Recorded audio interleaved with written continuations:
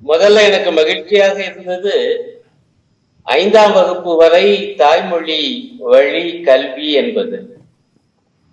இன்னும் முடிஞ்சா அத எட்டாம் வகுப்பு வரையும் அதையும் தாண்டி கூட கொண்டு போகலாம் என்று அதுல ஒரு வரி இருக்கு. அப்ப முதல்ல மகிழ்ச்சியா இருந்துச்சு. ஆனா கூர்ந்து கவனிச்சா அதுக்கு முன்பு அந்த பத்தியே எப்படி ஆரம்பிக்குதுன்னா அது வந்து பத்தி நாலு புள்ளி பதினொன்னு. வேறவர் பாசிபிள்னு போட்டாங்க. எங்கெல்லாம் வாய்ப்பு உண்டோ அங்கு மட்டும்தான் தாய்மொழி வழி கல்வியா? அப்படின்னா இதோடைய அர்த்தம் என்ன என்று சகோதரி கொஞ்சம் விளக்கணும். இப்ப எனக்கு வரக்கூடிய சந்தேகம் என்னன்னா அப்படி என்றால் சிபிஎஸ்இ பாடத்திட்டத்திலும் ஐந்தாம் வகுப்பு வரை தாய்மொழி வழி கல்வி என்பது கட்டாயமாக இருக்குமா? அல்லது மாநில பாடத்திட்டத்துல வேணா வச்சுக்கோங்க. வழக்கம் போல சிபிஎஸ்இல தான் இருக்கும் என சொல்லுவீங்களா? அப்படி சொன்னா ஒரு பகுதியினர் ஆங்கில வழி கல்வியில ஆர்வம் உள்ளவங்க அதை நோக்கித்தானே போவாங்க. இந்த பாகுபாடு இதுக்குள்ளேயே இருப்பது போல படுகிறது. என்பதுதான் என்னுடைய கவலை. அவங்க விளக்கினா சரி அல்லது அரசாவது பிறகு சொல்லணும். ஏன்னா பிரதமரும் இதை பத்தி பேசும்போது ரொம்ப பெருமையா பாருங்க எங்களுடைய திட்டத்துல நாங்க தாய்மொழி வழி கல்வியை கொண்டு வந்திருக்கோம்னு சொல்றாரு. ஆனா ஏன் இந்த வேறவர் பாசிபிள் அப்ப இதை பற்றி அந்த இப்பதான் கல்வித்துறை ஆகிப்போச்சு மனிதவள மேம்பாட்டுத்துறை அதற்குரிய விளக்கத்தை கொடுக்கணும். ஏன்னா ஆயிரக்கணக்கான இவங்களுடைய சிபிஎஸ்இ திட்டத்தை வச்சு ஆங்கில வழி பள்ளி கல்வி என்பது மத்திய அரசுலாம் வந்ததுதான். அது இப்பதான் வந்துச்சுன்னு சொல்லல. முந்தைய ஆட்சியில இருந்து வந்து இப்ப இன்னும் தொடருது. அதே போல மெட்ரிகுலேஷன் அப்ப கொண்டு வந்தா தாய்மொழி வழி கல்வி என்பதை அனைத்து பாடத்திட்டங்களிலும் கொண்டு வர வேண்டும். இல்லை என்றால் இது ஓரவஞ்சனையாக போகக்கூடிய ஆபத்து இருக்கு. ஒண்ணு. ரெண்டாவது இந்த மும்மொழி திட்டம். இது நிச்சயமாக தமிழகம் ஏற்காது. எந்த ஒரு மாநிலமும் கூட இதை ஏற்கணுமான்னு எனக்கு படு காரணம் அவங்க என்ன போட்டு வச்சிருக்காங்கன்னா நாலு புள்ளி பனிரெண்டுல பவுண்டேஷன் பவுண்டேஷனல் கட்டம் முதல் அதாவது மழலையர் பள்ளியிலிருந்தே மூணாவது வயசுல இருந்தே மூணாவது வயசுல மழலையர் பள்ளி ஆரம்பிச்சது அப்ப இருந்தே நான் அதை அப்படியே வாசிக்கிற ஒரு வரிதான். குழந்தைகளுக்கு பல்வேறு மொழிகள் கற்றுத்தரப்படும். ஆனா அடைப்பு குறிக்குள்ள போட்டிருக்காங்க. தாய்மொழிக்கு தனி முக்கியத்துவம் தருவதோடு. நான் எதையும் மறைக்க விரும்பல. நல்லது. அந்த மொழியும் சொல்லி தருவீங்க. ஆனா எதுக்குங்க? மூணு வயசுல கொண்டு போய் பல மொழிகள். கேட்டா என்ன சொல்றாங்கன்னா அதுக்கு வந்து கற்றுக்கொள்ளும் திறன் அப்ப அதிகம் இருக்கும். ஆனா மொழிகளை மட்டும் கற்றுக்கொண்டிருந்தால் உலகத்தை எப்படி கற்பது? இயற்கையை எப்படி கற்பது? சமூகத்தை எப்படி கற்பது? அதுல துடிப்பாக இருக்கு அந்த குழந்தை. ஆனா நீங்க வந்து மொழிகளை சுமத்தி உண்மையிலேயே அந்த கற்றும் திறனை உலகத்தை பற்றி கற்பதில் இருந்து தடுக்கிறீர்கள் என்பது எனது அபிப்பிராயம் பிறகு மும்மொழி திட்டம். மும்மொழி திட்டம் பற்றி நாலு புள்ளி பதிமூணு சொல்லுது. அதுவும் ரெண்டு மூணு வரியிலேயே அதனுடைய அர்த்தம் வருது. நான் அப்படியே வாசிக்கிறேன்.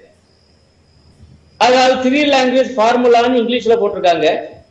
நான் அதை வந்து வாய்ப்பாடுன்னு சொன்னா நல்லா இருக்காதுங்கிறதுக்காக மும்மொழி திட்டம்னே சொல்றேன். மும்மொழி திட்டம் தொடரும் எடுத்தெடுப்பிலே போட்டாச்சு. அடுத்து மூன்று மொழிகளில் குறைந்தபட்சம் ரெண்டு மொழிகள் நேட்டிவ் டு இந்தியான்னு போட்டிருக்காங்க. இந்தியன் லாங்குவேஜஸ் போடலை. அப்படி என்றால் இந்தியாவுக்கு சொந்தமான இரு மொழிகள் அல்லது இந்தியாவில் பிறந்த ரெண்டு மொழிகள். அந்த மூணுல. அந்த மூன்று மொழியில ஒண்ணும் தாய்மொழியா இருக்கணும்னு போடல கவனிக்க இது என்ன அர்த்தம்? இதுல உள்ள ஆபத்து வந்து என்னன்னா நீங்க மூன்று மொழிகள்ல ரெண்டு மொழிகள் நான் எளிமையான முறையில் இருக்கா? இந்திய மொழின்னு நான் சொல்றேன். இந்திய மொழிகளா இருக்கணும். அப்படி என்றால் தமிழ்நாட்டில் இருக்கக்கூடிய ஒரு பிள்ளை மூன்று மொழியில இந்திய மொழி ரெண்டு ஒண்ணு ஹிந்தி இன்னொன்னு சமஸ்கிருதம். இன்னொன்னு இங்கிலீஷியா இதை கூட எடுத்துக்கொள்ளலாமா?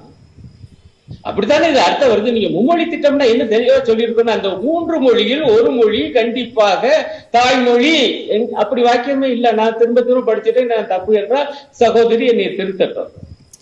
ஆனால் இது என்ன நியாயம்? இந்த மும்மொழி திட்டம் என்பது அதுவும் இது மழலையர்ல இருந்தே அவ்வளவு பேரும் படிக்கணும். நான் ஏன் இங்க மூன்றாவது அம்சம்? இதுக்குள்ளேயே நான் ஏன் சமஸ்கிருதம் சொல்றேன்னா அதற்கு அடுத்தே நீங்க பாத்தீங்கன்னா நாலு புள்ளி பதினேழுல சமஸ்கிருதம் ஒரு முக்கியமான நவீன மொழி. அது பள்ளி மற்றும் உயர்கல்வியின் அனைத்து மட்டங்களிலும் வழங்கப்படும் மும்மொழி திட்டத்திலும் ஒரு விருப்ப மொழியாக இருக்கும்.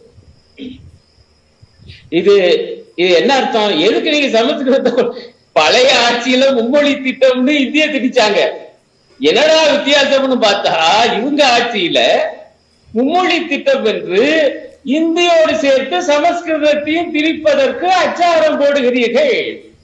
இப்படித்தான் நாங்க முடிவு செய்ய வேண்டியிருக்கு காரணம் நீங்க உள்ளுக்கு நான் நேரம் கருதி அதிகமா போக முடியல. பல இடங்களில் சமஸ்கிருதத்தை மட்டும் தூக்கி வைத்து புகழுகிறீர்கள் மார்க்சியர்களாக எங்களுக்கு எந்த மொழி மீதும் வெறுப்பு இல்ல. ஆனா நீங்க என்ன போட்டு வச்சிருக்கீங்க தெரியுமா? இதை மட்டும் அனைத்து மட்டங்களிலும். உயர்கல்வியில் உயர்கல்விக்கு வரும்போது சமஸ்கிருத பேராசிரியர்கள் இந்தியா முழுக்க பெரிய அளவிலே அவங்க வந்து உருவாக்கப்படுவாங்க. அதுக்காக ஒரு டூயல் டிகிரி பிஎட் தரப்படும் எல்லாம் போட்டு வச்சிருக்காங்க. உயர்கல்வி பகுதிக்கு போனீங்கன்னா. வேற எந்த மொழிக்கு இப்படி போடல. அதனாலதான் நாங்க அச்சப்படுகிறோம். ஆகவே மொழிக் கொள்கை என்பது இது மிக மிக மோசமான ஒன்றாக இந்த கொள்கையில் இருக்கிறது என்பது முதல் விஷயம்.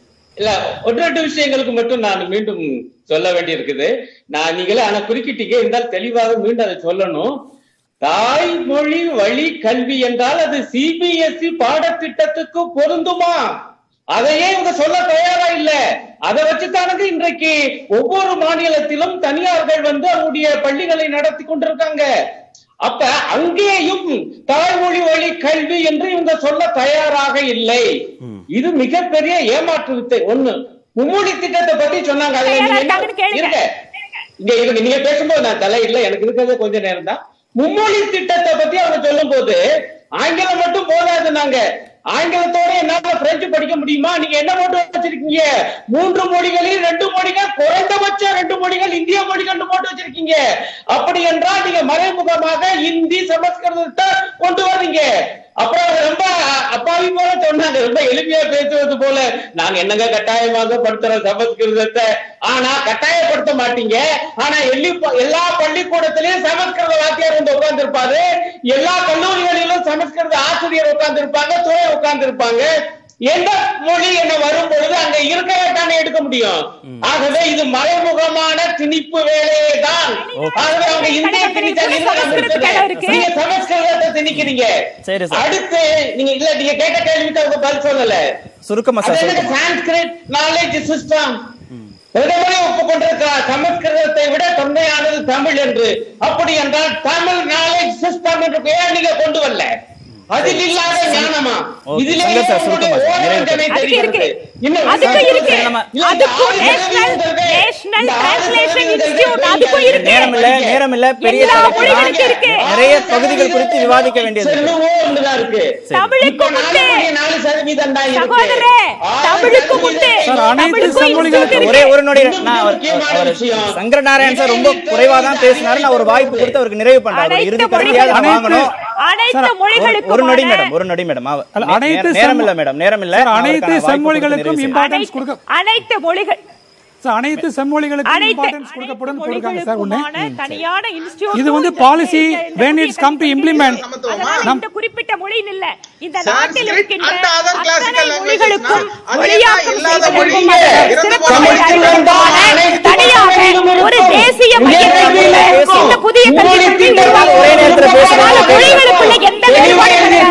எல்லா மொழிகளும். எல்லா மொழிகளும் இந்த biết biết biết